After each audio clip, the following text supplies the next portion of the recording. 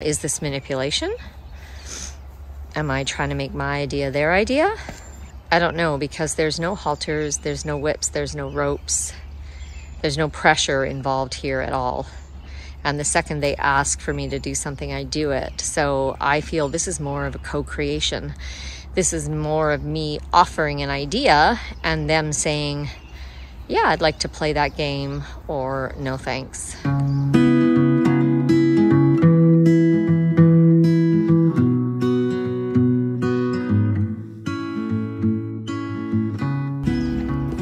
So trailer training can start as simply as this. I've got Zora in a very small loading arena, and then Odie's had her head inside the dark trailer-sized sea can for about 30 minutes now. Kalia was waiting to get in and see Odie's protecting her space, driving Kalia off, establishing that the dark trailer-sized space is the desired place to be. Zora has not asked to come out at all. She's totally happy in there in her little loading arena pen protected from the other horses. So look around your environment, even if you don't have a trailer. What do you have that you can start setting up these smaller spaces and having, you know, put their hay in there? Um, we've got first cut hay in the feeder, which is really not tasty, so they don't care. But we have some, we have a Timothy round bale in there. So I pulled some forward for Odie to eat. And I've also given Zora some of that Timothy and some alfalfa. So I've set it up so there's something a little more tasty and interesting in the challenging or confining areas and then just left them to it. Again, it's so energetic. If I wanted to get Odie to eat out of this dark trailer cave, there's no way she would. But because I don't care and I just leave it, and then it becomes, you know, the good place to be and the place that she's then defending. Do you want to come out now, Zosie? So we'll see if she wants to come out. I doubt it. I doubt she'll be able to get out before someone else gets in, but maybe she hasn't. Do you have enough room here? She's hesitant because these two are right here. Yeah, she's got to come this way. Good girl. So again, understanding what's enough space for you versus enough space for the horse. I had to open it so that she could come this way. She couldn't come out towards them, even though they were uh, 25 feet away because human space is not the same as horse space. Are you gonna go in there or am I gonna close it up? I'm gonna leave it and I'm gonna walk away because she's unsure. Now for safety, if she goes in, I'm gonna move to close it really quick because I don't want her to get trapped in there by Big Mama. So someone, someone needs to decide who's going in there before I close it. Zoe wanted to come out for some water. So this is another part of building trust. As soon as Zora signaled me, hey, I was like, okay, try and come out.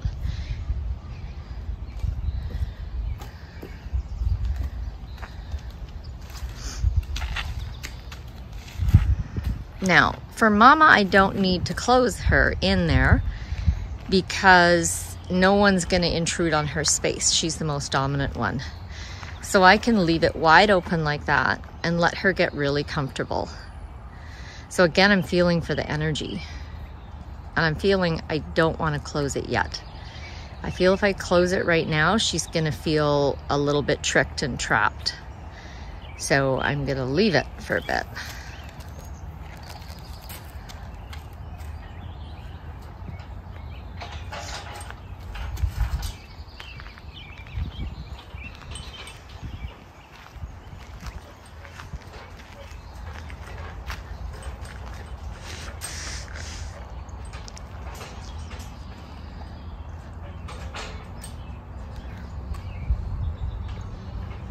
And now I'm feeling like I'm gonna go in there with her.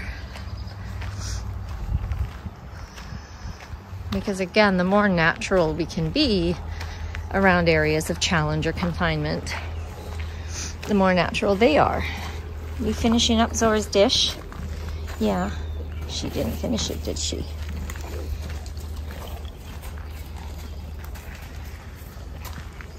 So now that I'm in here, I feel like I can close this up or begin to um, if I'm in here with her.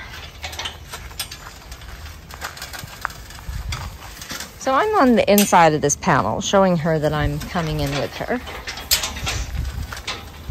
There we go, good mama. That's my good mama. Now I'm gonna scratch her belly, which she loves. And the second she asks to leave, I'm gonna let her out.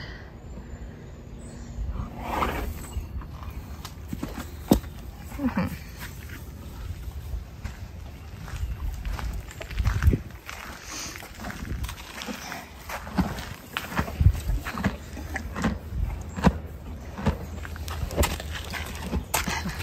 She's like, yes, but how about no belly scratches? We can do that.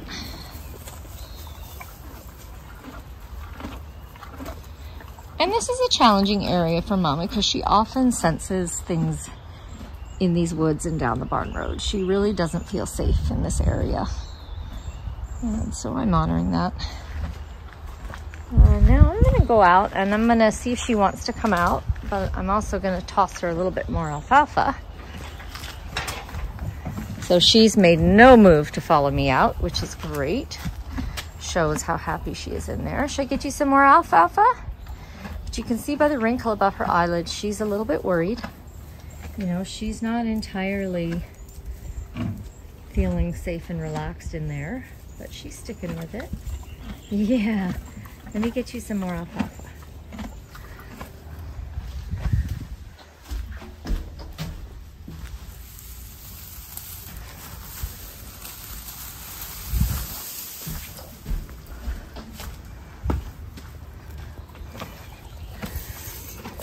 Go, Mama.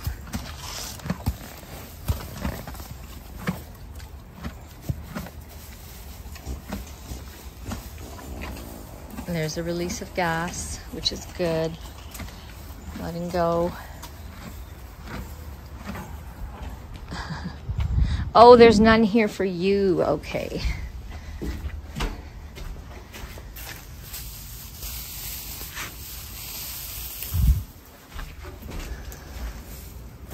give Kalia some right near the entrance. And then what I'll do, I'll also pull some of this Timothy down and I'm gonna put it inside the trailer here. And we're gonna see what she thinks of that now that mom is separated from her. She's fine. She's still alert, but she also knows that big mama can't get to her out here. Yeah, right, mama. But you're a little bit unsure, hey? Did something give you? And then when mama comes over here, Kalia moves away. So we've set up a little bit of a competition here, right? Because mama can see that Kalia has quite a bit of nice hay there. And so she's wondering whether she's got the best spot or whether Kalia does. And again, this kind of tension and negotiating is all positive because instead of being just, you know, there's a value to being totally relaxed in a confined, challenging area, and there's a value to being a little challenged. And it's ideal if the challenge comes from the other horse, not from the human, because then there's no anxiety or lack of safety associated with the human or the human's desires or what the human's trying to make happen. It becomes a horse to horse issue and allows them to build resilience. And I've seen the horses do this to each other. Like they want to help each other uh, become more skilled. And so they will put pressure on each other for the purpose of building resilience, which is pretty amazing when you think about it. Zosie's all the way over there, staying out. Smart girl. And now that I'm in here with Mama, she's settled right back down. So again, just take a look around your environment. These arena panels are brilliant. They, if you get them from a wholesaler, you can get them from 75. Sometimes you can get the really little ones and the really light ones for 50 bucks each. They are worth every penny. Try to get some secondhand if you can, because you can just come up with all kinds of situations like this that give you a lot of flexibility when you're trying to get your horses used to something that's going to be challenging for them. Is that right, Zosie? Yeah, we love our arena panels, don't we? Now, horses in confined situations that are panicking. See this tall arena panel right here? These two here? They can and will climb over them. And that's what Miss Kalia did when we tried to bring just her down from the rescue. She climbed over arena panels like this, but I actually had the heavy duty steel ones up there. They were stronger. She climbed over them and she then blew through a three three wood board solid fence. Went through it, through the boards in the middle, and she was nine months pregnant. So you can't panic them. You don't want to panic them. You just want to provide what's um, challenging and helps them build resilience, but you do not want to throw them into panic. Mama, should I put more hay in here for you? Let's try more hay before I let you out. So I I took some Timothy from Kalia's pile and gave it to Mama, and she's happy now. And you see how Zora is like, well, why can't I be a part? Instead of these being the challenging areas, that stressful areas that nobody wants to go near, you see how I've set up the dynamics so these become the desired lucky horse areas.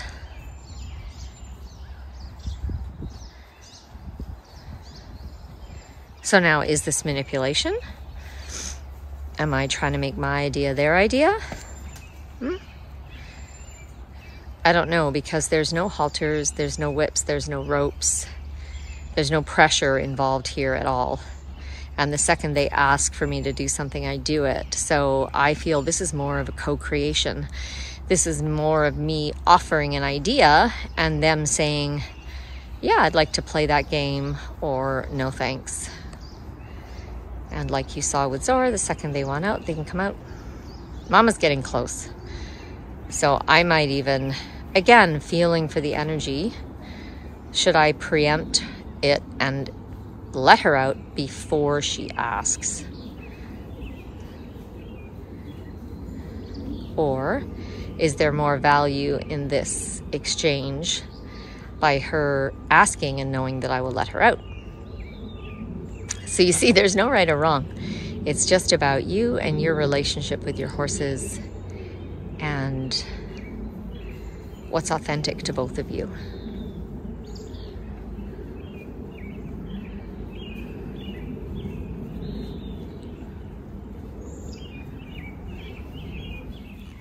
So this is hilarious because I let her out and she just stood there. She stood there for so long, I decided to get my camera out and start filming again. So again, very successful. She moved to the end of the pen here and I said, okay, I'll let you out. And then even with the gate wide open, she chose to stand there and just feel it with her body and feel her choices and feel the reality, which is brilliant. Love it. So they are also interested in their own emancipation and getting bigger and more resilient. And Mama knows that she's going to have to get on that trailer to get up to the ranch to be with everyone else. So she wants to um, practice so that this gets easier and easier for her.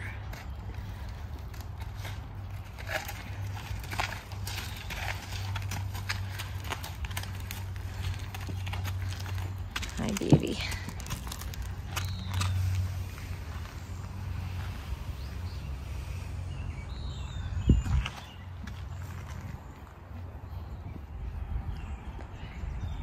And now we're back to the configuration we were at before. But I think I'm feeling like I'm done for today. I don't want to play anymore. So I'm going to close that up. Not right. Yep. Because just like they get to choose, I get to choose too. Yeah, I get to choose when I'm done. When I've had enough, right, Miss Kalia? Yeah.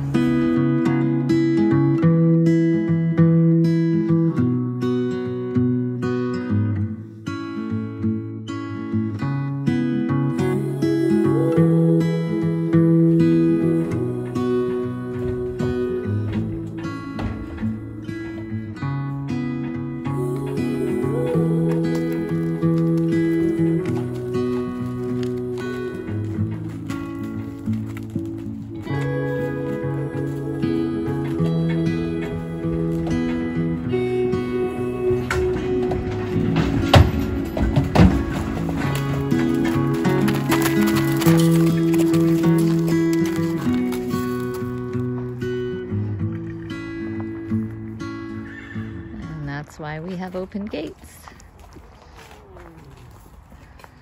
That was awesome. Good job, you guys.